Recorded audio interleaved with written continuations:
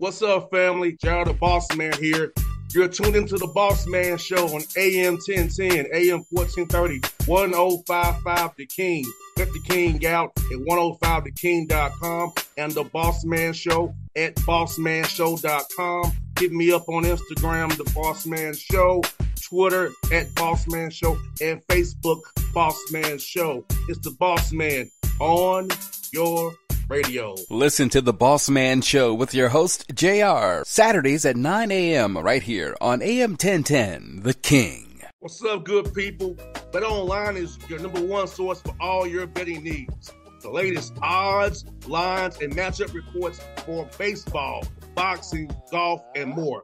Bet Online continues to be the fastest and easiest way to place your wagers, including live betting and your favorite casino and card games available to play right from your phone. Head to the website or use your mobile device to sign up today and get in on the action. Remember to use your promo code BLEAV, B L E A V, for your 50% welcome bonus on your first deposit. Bet online where the game starts. BS3 Network, changing the way you watch TV. Yes, BS3 Network, changing the way you watch TV, covering content and hot topics from A to Z sports, music, society and culture, movie reviews. You name it, we have it. Check it out on bs3network.com or check us out on Roku, BS3 TV on Roku, as well as check out your favorite podcast on all podcast platforms or Spreaker.com backslash BS3 Network. You are now tuned to BS3 Network.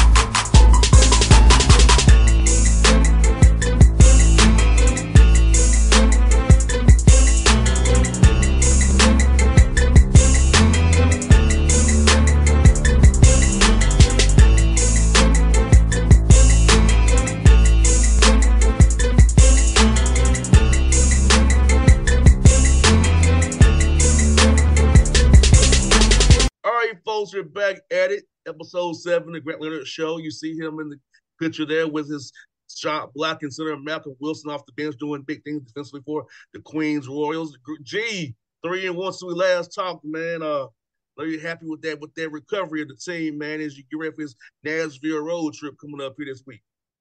Yeah, I mean, we had a really good, uh, you know, th- three three of the last four, and all of them were at the Levine Center, and uh, then we lost one tight one at, at North Alabama, but guys are making a lot of progress, really starting to to figure out, you know, guys' roles and and how we play and margins and stuff like that. Been really proud of the progress, and uh, this guy's this guy's one of them. You know, more and more experience on the floor, and his impact's been huge. Start to see him block, you know, every, every game multiple shots. Had five uh, on Thursday night. Is that right? Right. Five.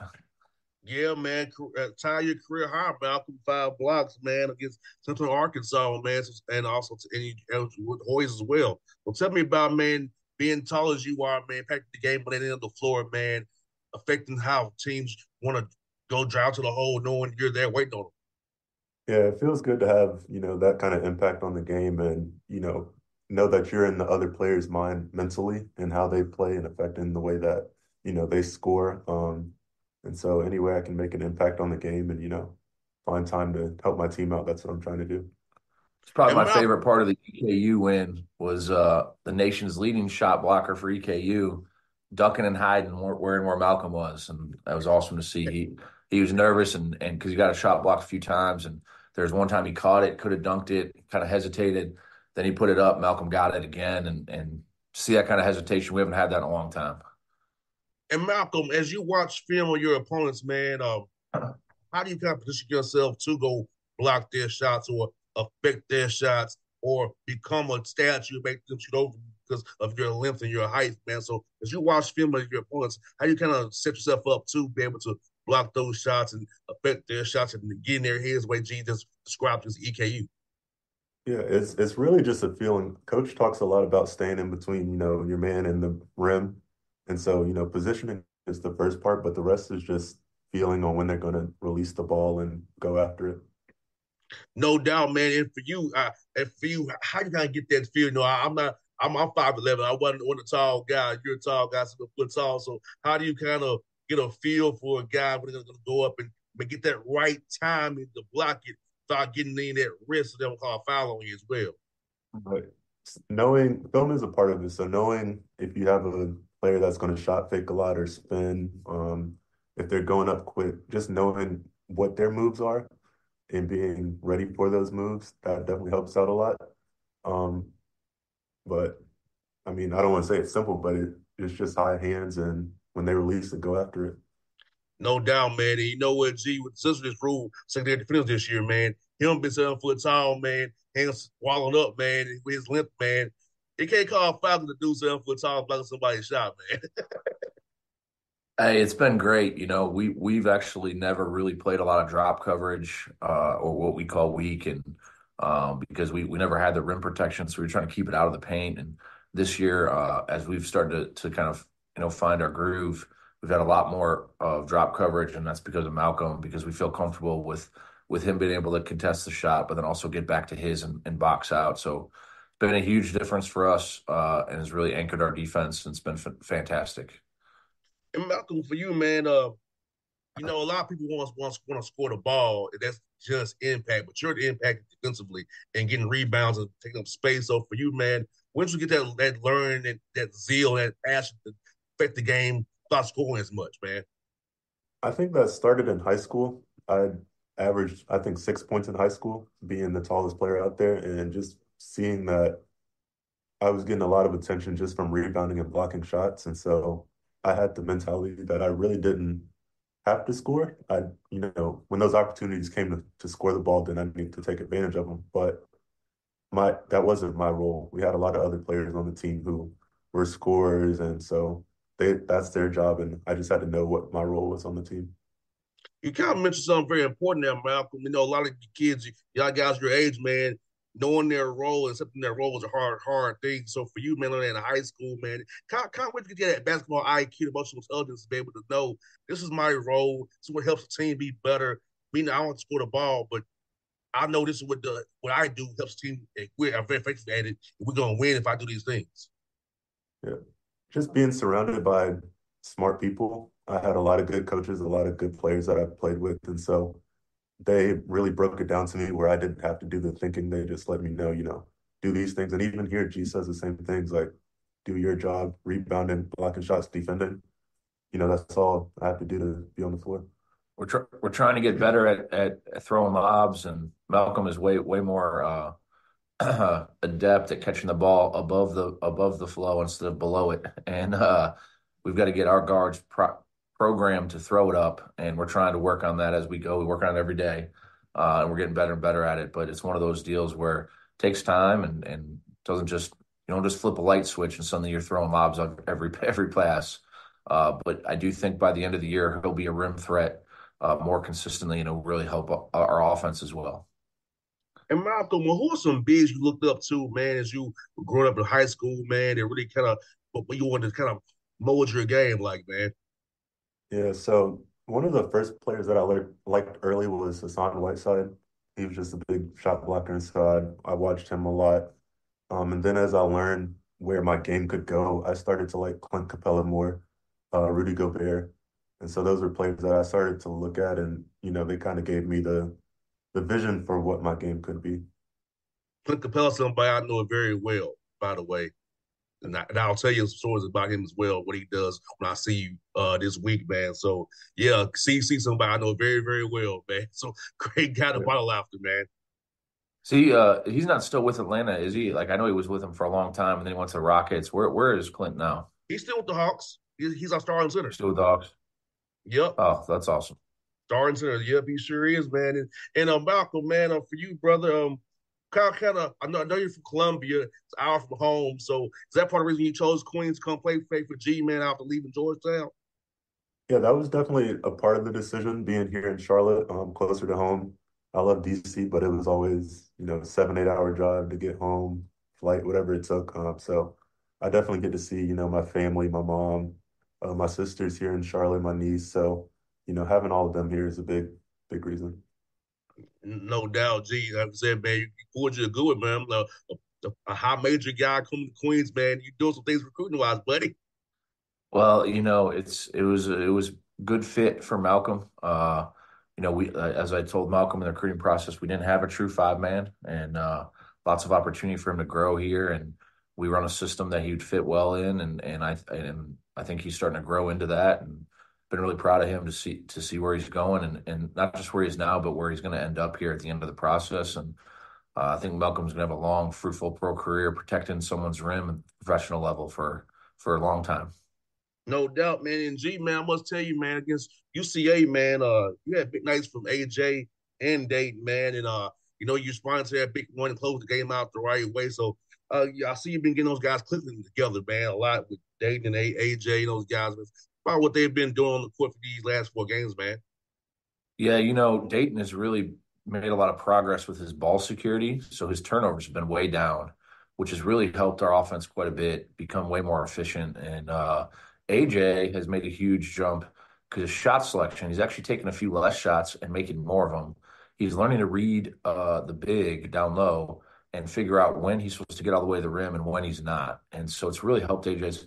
Both of their efficiencies gone up, which has really helped our team, uh, which was a big deal. And and it's allowed us to set our defense more often because there's less live ball turnovers and quick shots. And and those two's progress uh, mentally has been the biggest jump. And then obviously defense, we've made a big jump playing Malcolm more, playing a little bit bigger, uh, which has helped us rebound a little bit more effectively, but also just be more solid defensively, stay between the ball and the basket, and and being able to contest shots with more length. When that has really been the the, the reason our our season has kind of turned is is just everyone's everyone's understanding of how to shave just a little bit more efficiency offensively and then be a little bit more effective defensively. NG, North Alabama wasn't the results you wanted, but you had three guys with double doubles. That's that's kind of rare in today's game. And yeah, yeah. both got double, double, double figures, man. So I know you wish you could have came out of there with a win, but well, especially with three guys going double doubles for you, man, putting out the effort on, on road for you guys. You know, I thought I thought we played really well, and after the game, I wasn't upset at all. I told our guys like thought they played really hard. You know, I, have never seen a box score where a team goes 13 for 19 from three. I've just never seen it. So um, kudos to them for having an epic shooting night. And if they didn't have that type of shooting night, I think we go we go away winning. Um, so I was proud of our guys, and I think they're starting to execute the game plan and understand what we're trying to do. And we just need to kind of kind of get over the hump on the road. And we got two chances this week, you know, at at Lipscomb and at Austin Peay And uh, you know, last year that road trip we were one and one and, and got one at Austin Peay on a buzzer beater, and hopefully we're ha- we have some success this weekend as well. And G, let me ask you about Malcolm, man. So he helped you with screen right his on, on ball screens with his wide base, man. He gives those guys like Deyton and Bryson and AJ get downhill, but Malcolm's length and size, sitting up straight screen. Defense can't run through him. It's be a foul. So how's he helping in that area as well? We want to do the pick and roll and run off ball actions. Yeah, Malcolm's been unbelievable in ball screen coverage and his ability to stay between the ball and the basket and, and drop, but he's also been really good at hedging as well. So, uh, and then even sometimes when we're in ice coverages, his ability to move his feet and contain the guard and allow the guard to get back and then get back to his uh, has been elite. Um, and so, to be honest with you, uh, our defensive numbers wouldn't be anywhere where they are if it wasn't for Malcolm. Really appreciate the fact that he's he's been locked in and I, I, I never asked him fully like what they always were in at Georgetown, but I think it was a lot of drop. But he's been good in every coverage, whether it's ice, whether it's drop, uh, whether it's a hedge, and, and then even a couple times we've switched. Malcolm's done a great job. Hundred percent, man. And you know what, G is also, man, is EKU came to to the to your home arena, man, and they were one. You all held them down scoring wise, and you got a lot of points on them as well, man. So talk about that, man, for Queens being transitioned to D one, man, and you all number one team in, in the ASUN who's been well, lights out all year. Come to your place and you give hang L on. Yeah, I thought our guys. I mean, they were so locked in. You could see the connected, connected basketball from defensively understanding the assignment. Malcolm, you know, really intimidating Cozart to Bryce Cash, you know, really doing an unbelievable job on Tay Tay Blanton. Uh, so I thought there was two two unbelievable defensive performances there, and then offensively that led to us uh, really being able to get out and run. But then they press, and uh, our guys did an unbelievable job of attacking their pressure. Even were times we had our five man bringing the ball up and initiating offense so that they couldn't pressure us. And uh, I thought guys did a phenomenal job on both sides, really executing and and understanding what we were trying to do. And uh, I was really proud of the effort, and, and I thought we we put that was our best forty minutes of the year for sure.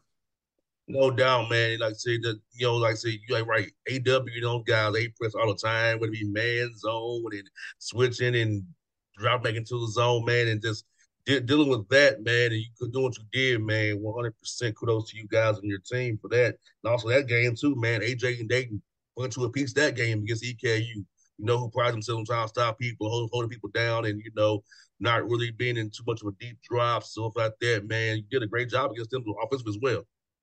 Yeah, yeah, I'm just proud of those dudes, and you know, been been really, really, uh, you know, forward with our guys. Hey, can't control what happened in the past. We got to continue to grow and get better, one percent daily, and I think all of our guys, Malcolm, have all bought into that, and we're seeing our team turn a corner. You know, whether I don't think we're all the way there yet, but we're seeing the progress you see a lot of teams in February they can they can kind of take a step back, and I think right now our team is starting to peak and take a step forward.